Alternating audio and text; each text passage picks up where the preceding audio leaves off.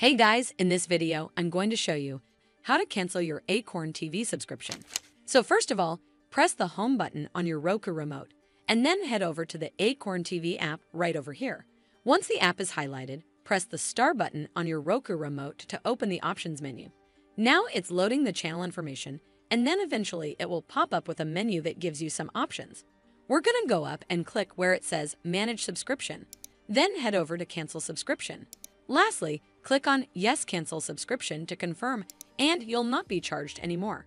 And the great thing is, you can carry on using the app until the subscription date was originally due. Also, deleting the Acorn TV app or your Acorn TV account will not cancel your subscription, and subscriptions renew automatically unless you cancel your subscription manually on your own. Well, that's how you cancel Acorn TV subscription. I hope you found this video helpful. And if you did, make sure you give it a thumbs up to see more videos like this,